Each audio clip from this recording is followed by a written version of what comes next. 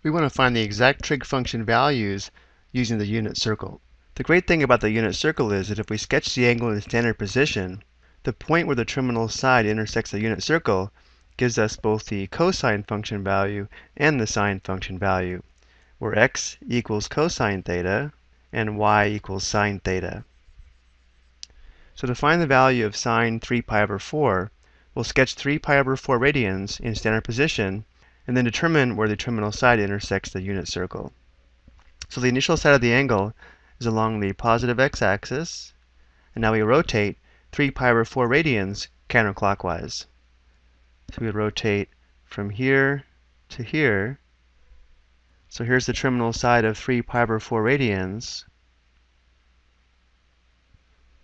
And here's the point where the terminal side intersects the unit circle. The x-coordinate is equal to negative square root 2 divided by 2, and the y-coordinate is equal to square root 2 divided by 2. Because we're looking for the sine function value, we want the y-coordinate, so this is equal to positive square root 2 divided by 2. So this is pretty straightforward because notice how 3 pi over 4 radians was labeled on the unit circle. But I also want to show you a method for finding this point on the unit circle if this angle was not labeled on the unit circle. As long as you remember that pi radians is one rotation counterclockwise from the positive x-axis, or from here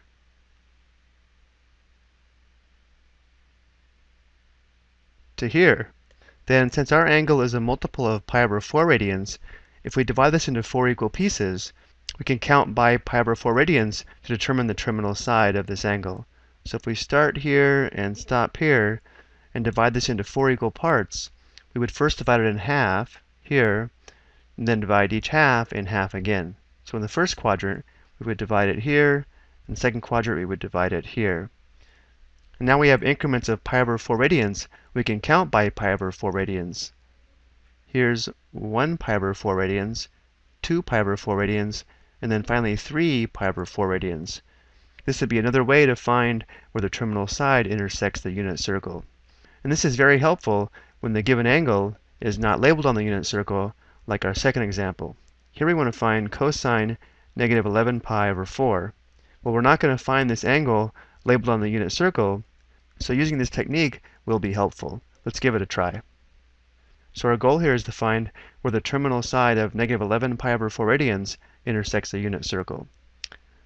So we'll start here again, but because the angle is negative, we now want to rotate clockwise 11 pi over 4 radians.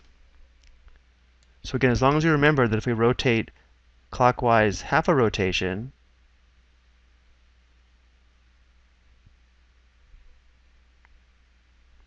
this would be negative pi radians. And because again our angle is a multiple of pi over 4 radians, we want to divide this into four equal parts. So we're going to start here, stop here, and divide this into four equal parts. So we'll divide it in half and then in half again. This would take us over to negative 4 pi over 4.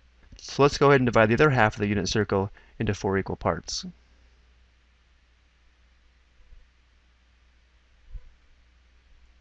So we'll divide this in half and then in half again. So now starting at the initial side, we'll count off negative 11 pi over 4 radians, counting clockwise negative 1 pi over 4, negative 2 pi over 4, negative 3 pi over 4, negative 4 pi over 4, negative 5 pi over 4, negative 6 pi over 4, negative 7 pi over 4, negative 8 pi over 4, negative 9 pi over 4, negative 10 pi over 4, and finally negative 11 pi over 4.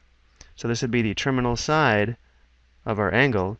Notice how this is also coterminal with 5 pi over 4 radians.